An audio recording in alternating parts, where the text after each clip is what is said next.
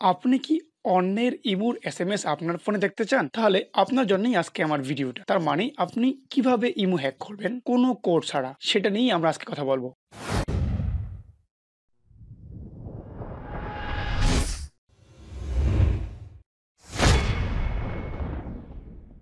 hello viewers, welcome to tech Arif YouTube channel. আমরা আজকে কথা বলব কীভাবে আপনি অন্যের ইমুর সকল এসএমএস আপনার ফোনে পাবেন। দ্যাট মিনস অন্যের ইমু কীভাবে আপনি হ্যাক করবেন কোনো কোড ছাড়া। তা নিয়ে কথা বলতে গেলে আপনি ইউটিউবে অনেক ভিডিও পাবেন, যারা বিভিন্নভাবে আপনাকে দেখানোর চেষ্টা করতেছে যে কোড ছাড়া কীভাবে ইমো হ্যাক করা যায়। কিন্তু বাস্তবে এগুলা এতদিন পর্যন্ত সম্ভব ছিল না।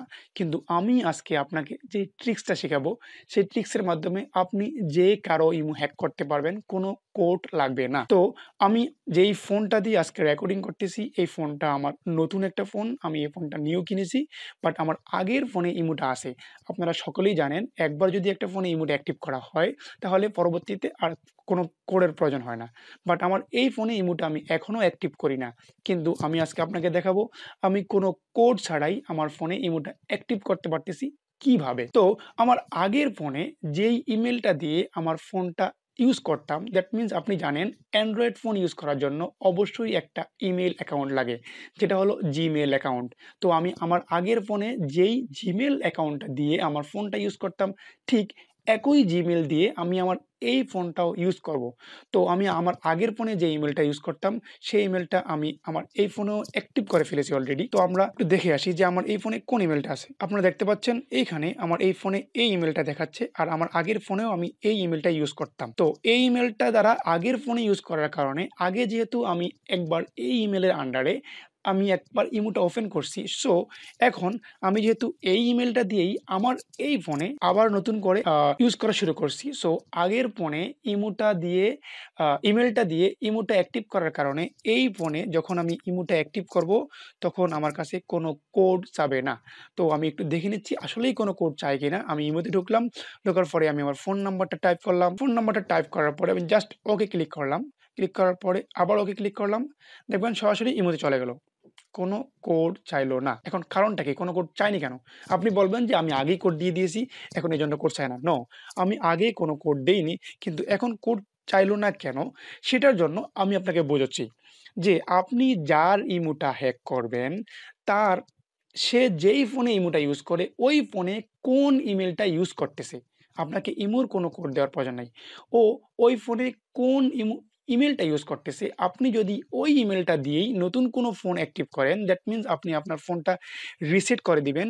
করে দেওয়ার পরে আপনি নতুন করে যখন আবার ফোনটা অ্যাক্টিভ করবেন, তখন আপনার কাছে একটা ইমেল অ্যাড্রেস যাবে। আপনি যখন ওই ইমেলের জায়গায় যার ইমোটা হ্যাক করতে চাচ্ছেন, তার ইমেলটা দিয়ে আপনার ফোনটা অ্যাক্টিভ করবেন, তাহলে আপনি যখন ওর ইমো নাম্বারটা দিয়ে ইমো খোলার জন্য অ্যাপ্লাই করবেন আমার মতো আপনার কাছে কোনো কোর্স হবে না। সরাসরি ইমোটা অ্যাক্টিভ হয়ে যাবে। ইমোটা অ্যাক্টিভ হয়ে যাওয়ার পরে এবার আপনি আপনার ফোনটা নিজের মতো করে সাজিয়ে নেবেন কীভাবে? তার জন্য আপনি আবারও সেই এক, একইভাবে এই ইউজার অ্যান্ড অ্যাকাউন্টে যাবেন। অ্যাকাউন্টে গিয়ে এইখান থেকে আপনি এখানে যে অ্যাকাউন্টটা আছে এই ইমেলটা আছে। এই ইমেলটা তো তখন আপনার থাকবে না। তখন আপনি যার ইমেল ইমোটা হ্যাক করছেন তার ইমেলটা দেওয়া থাকবে। তো আপনি যেহেতু ইমোটা এখানে অলরেডি ফোন অ্যাক্টিভ হয়ে গেছে তখন আপনি কি করবেন এখানে ক্লিক করে আপনি নতুন করে আরেকটা অ্যাকাউন্ট অ্যাড করে নেবেন যে অ্যাকাউন্টটা হবে আপনার। তো তার জন্য আপনাকে এই যে অ্যাড অ্যাকাউন্টে ক্লিক করতে হবে। অ্যাড অ্যাকাউন্টে ক্লিক করে আপনি এখানে আরেকটা জিমেল অ্যাকাউন্ট অ্যাড করে নেবেন তো এই জিমেল অ্যাকাউন্টের জন্য এই যে গুগলে ক্লিক করবেন। গুগলে ক্লিক করার পরে আপনি এখান থেকে আপনার এই যে এখান থেকে আপনি আপনার ইমেলটা অ্যাড করে নিতে পারবেন। আশা করি ব্যাপারটা বুঝতে পারছেন। তাও আমি আরেকবার বলে দিচ্ছি, আপনি যার ইমোটা হ্যাক করতে যাচ্ছেন, সে ওই ইমুটা যেই ফোনে ইউজ করতেছে ওই ফোনে সে যেই ইমেল দ্বারা তার গুগল প্লে স্টোরটা ওপেন করে রাখছে ঠিক আপনি যদি ওই ইমেলটা আপনার ফোনে বা অন্য কারও ফোনে অ্যাক্টিভ করেন তাহলে ওই ফোনে যেই ইমোটা ইউজ করতো ওই ইমোটা ইউজ করার জন্য আপনার কাছে কোনো কোড চাবে না। আশা করি সম্পূর্ণ বুঝতে পারছেন। তারপরেও যদি কোনো কিছু বুঝতে সমস্যা হয় বা আপনার কাছে কোড চায় বা অন্য কোনো সমস্যার কারণে ইমো অ্যাক্টিভ করতে না পারেন অবশ্যই আপনাদের জন্য কমেন্ট বক্সটা আছে। এখানে জানাবেন আমি সাথে, সাথে হোক বা কয়েক ঘণ্টা পরে হোক আপনার সমস্যার সমাধান করার চেষ্টা করব। আর আমি এখানে পরীক্ষিত যে একই ইমেল দ্বারা যদি দুইটা ফোন ইউজ করা হয়, তাহলে আপনি একটা ফোনে ইমোটা অ্যাক্টিভ করলে দ্বিতীয় ফোনে আপনার কোনো কোড প্রয়োজন হবে না। তো এই ছিল আজকে আমার ভিডিও। যদি ভালো লাগে, অবশ্যই লাইক করবেন।